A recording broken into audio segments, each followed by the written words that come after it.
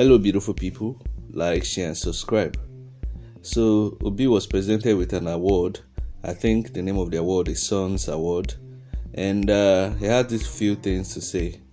Anyway, after watching the video, uh, I'll let you know. I'll let you know my thoughts in the comment section.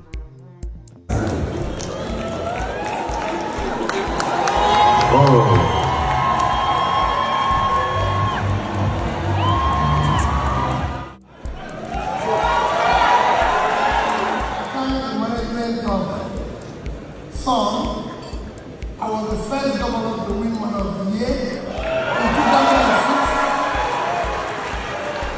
In 2006, 2007. And today I'm coming back. When they came for this award, I didn't ask them for what purpose. But I thank God, I dedicate this award to all the suffering poor Nigerians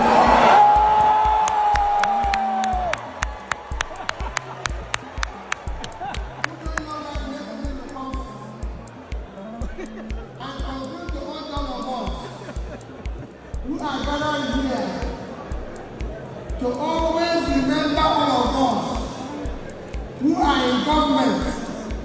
Remember all of us in your prayers.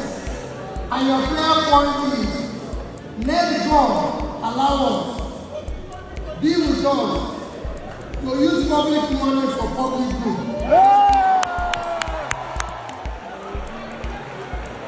All right, we proceed to the next award. Hello, beautiful people. So, your friend from Obi use public money for public works. And surprisingly, um, from the comment section, Dapo, the governor called Dapo, dubious Dapo, according to what people call him, uh, won an award. And going through the comment section, a lot of people kind of disagreed, saying, How can Dapo win such an award? You understand? So, it's so funny and laughable um, when award is given to people that didn't deserve it. Uh, but you can see we'll be telling Tinubu this is a message to Tinubu and all people who are in charge of people to do the right things. But will they listen? That is the question. Will, they listen or they will do what is in their mind, which is uh, engage in criminality, waste money. Now Tinubu is spending five billion for student loan, which no student has received to today.